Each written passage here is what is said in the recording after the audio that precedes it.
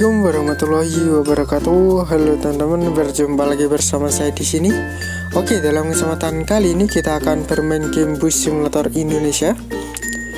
Dan dalam kesempatan kali ini saya akan menjalankan rute dari Gilimanuk menuju Denpasar dan nanti akan melintasi empat scene ya yang ada di Busit map Bali dan untuk modnya yang saya gunakan adalah mod XHD Prime. Ini dari Mas Angga Saputro dan Pak Farid Madiawan untuk statusnya adalah sel. Bagi teman-teman yang berminat dengan mod ini silahkan hubungi link yang ada di bawah ya. Oke langsung saja kita akan mulai untuk perjalanannya.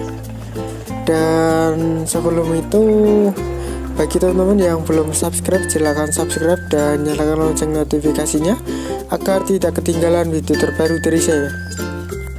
Oke teman-teman, langsung saja kita akan mulai ya untuk perjalanannya. Dan ini kita akan belok ke kiri. Kita akan keluar dari Terminal Gilimanuk yang ada di map Bali ini. Dan mod ini adalah mod spesial custom ya. Jadi ini adalah mod eceran. Dan untuk modnya ini sangat spesial sekali ya karena saya itu request uh, pariwisataan gitu ya teman-teman. Nah untuk jalan keluarnya ini ada di sebelah sini. Kalau kita lurus tadi itu kayak tempat jalan kaki orang-orang ya atau penumpang. Dan setelah ini kita akan belok ke kiri. Di depan kita itu ada bus pahala kencana. Entah rutenya itu mana ya yang tahu silahkan komen. Dan ini kita lurus saja.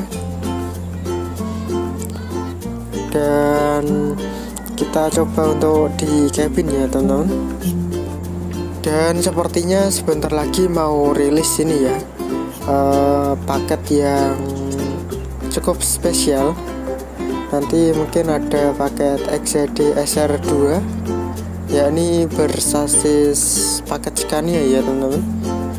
Kalau yang saya pilih itu. Dan juga ada paket Mercy. Kalau paket Scania itu mungkin K360 dan K410 ya kalau ini kan Hino. Untuk Hino mungkin entah pembagian paketnya itu seperti apa ya. Yang tahu silahkan komen karena saya tuh beli yang Hino itu yang versi eceran ya teman-teman. Jadi spesial custom gitu. Oke karena sudah menunjukkan lampu hijau kita langsung saja. Dan untuk kelebihan dari bus yang menggunakan double axle atau yang bukan non tronton itu lebih gimana ya lebih ringan gitu ya teman-teman. Tapi untuk speednya itu standar nggak terlalu kencang tapi untuk akurasi beloknya itu ya harus hati-hati ya teman-teman. Karena kalau kita terlalu kenceng dan ada semacam tikungan itu tentunya bisa nabrak ya apalagi dengan adanya jalur-jalur kecil seperti ini. Dan entah kenapa saya itu ketika main game bus itu sering banget ya yang namanya kayak nabrak entah itu uh, cuman nyerempet itu sering sekali ya sekarang. Kalau dulu itu kayaknya jalannya agak lebar dan sekarang itu agak dipersempit. Dan juga kenapa ya ketika kita menggunakan mod yang dengan speed normal itu rasanya itu mudah sekali untuk mengantuk teman-teman. Apalagi untuk trafiknya itu jalannya sangat pelan dan tiba-tiba kayak berhenti mendadak gitu ya teman-teman. Jadi kurang enak banget. Dan ini syukur-syukur sudah ditambahi mod kode name traffic ya. Jadi untuk trafiknya itu sudah agak bervariasi kalau bawaan ori kan ya cuma SHD sama Trafigo itu ya yang HD kalau dari men's gaming ini banyak banget mulai dari jetliner terus ada truk ada discovery 3 dan juga banyak banget pokoknya. Dan tentunya sudah full variasi ya untuk trafiknya tapi untuk speednya juga masih standar. Kadang ya juga sering error untuk trafiknya itu. Tak kenapa gitu ya teman-teman.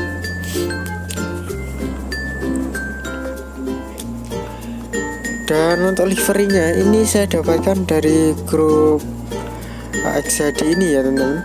Jadi mungkin bagi teman-teman ada yang tanya masnya itu dapatnya dari grup mana nah ini saya dapatkan dari grup yang paket ya karena untuk grup yang paket itu lebih ramai ya teman-teman. Jadi ya bersyukurnya saya itu uh, sudah satu membeli ini yang eceran tapi juga membeli yang paket ya.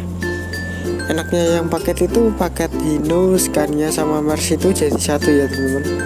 Jadi untuk teman-teman yang nge-share livery itu biasanya ya di grup paket itu jadi lebih enak gitu ya teman-teman. Jadi nggak ada ruginya. Apalagi liverynya ini cukup keren bus sumber jaya. Waduh ini kita nabrak lagi dong. Nah ini dia yang nggak saya suka. Trafiknya itu suka ngeblong-ngeblong gak jelas dan tiba-tiba itu kayak berhenti sendiri gitu ya. Itu menyebabkan kemacetan itu di sini karena ini menggunakan uh, model yang terbaru. Untuk model lampunya ini saya suka banget karena untuk pantulan refleksi cahayanya itu uh, bisa sampai ke body ya untuk cahaya dari lampunya ini. Lampu utama dan juga lampu belakang.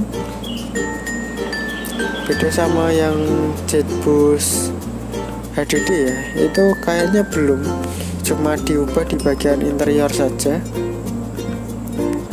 Kalau ini keren banget keren lah ya pokoknya. Kalian nggak akan rugi. Apalagi untuk teman-teman yang suka banget dengan mod XHD walaupun sekarang itu uh, mod sekelas Hino RK8 itu belum bisa ya dipasangkan mod. Yang masih saya body XHD karena menyalahi dari aturan odel atau over dimensi overload. Jadi untuk sasis Hino RK8 itu mungkin maksimal menggunakan bodi yang MHD ya atau kalau dilaksana itu apa ya? Lupa aku. Yang tahu silahkan komen ya. Kayak kalau misalnya transporter itu kalau misalnya jadi untuk sekelas SHD yang bagasinya sangat tinggi itu sudah tidak boleh ya. Mungkin kalau bisa itu pakai yang Hino premium ya. Misal Hino RM385 atau menggunakan Scania K410 atau yang K360 juga bisa.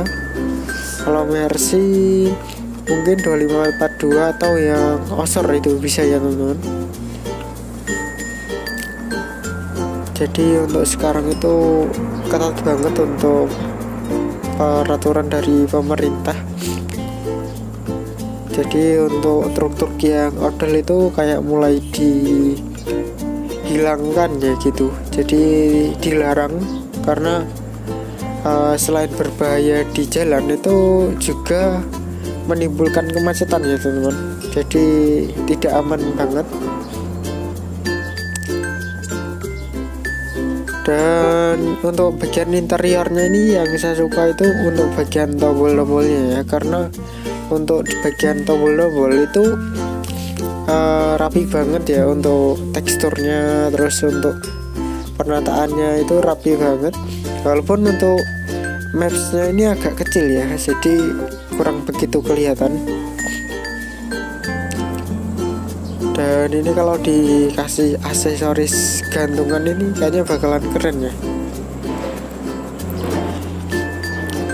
Apalagi untuk bagian belakang ini sudah menggunakan ini ya model SR2 karena model lampu SR2 ini keren banget tetapi untuk kekurangannya itu kadang kurang kelihatan ya kalau siang hari. Apalagi kalau lampu sennya itu. Entah kenapa kayak kurang kelihatan gitu. Maka di bagian grill atas itu kayak ada lampu elang mungkin lampu elangnya itu sebagai lampu pembantu ya dari lampu utama di bagian belakang. Jadi biar lebih kelihatan gitu ya teman-teman dan mungkin nanti kita tidak akan full durasi ya karena uh, biar teman-teman itu tidak bosan untuk uh, melihat video ini. Jadi biar tidak monoton ya teman-teman. Mungkin kita nanti akan cari tempat pemberhentian di bagian depan sana. Mungkin kita akan buat part 2 nya supaya bisa meneruskan gitu teman-teman kita akan menggunakan armada ini. Dan apalagi yang di bagian maps di Bali ini sangat keren banget ya karena untuk bagian kanan kiri itu sangat uh, mantap banget ya. Karena untuk bagian pohon-pohonnya itu sangat banyak banget ya teman-teman. Jadi keren serasa ATS 2 ini. Apalagi untuk Malia itu sebagai game developer itu membuat uh, kota-kota uh, itu kayak aslinya gitu ya. Jadi mantap banget. Jadi serasa main game beneran ya. Kayak game di komputer gitu ya dan ini kita akan belok ke sini aja dan kita akan parkir di depan sana saja sekaligus untuk mengakhiri pada video perjumpaan kali ini. Dan mungkin cukup sekian video yang dapat saya sampaikan dalam kesempatan kali ini. Dan bila ada kekurangan salah atau saya mohon maaf. Akhir kata saya Fabri Channel. Wassalamualaikum warahmatullahi wabarakatuh. Salam busit mania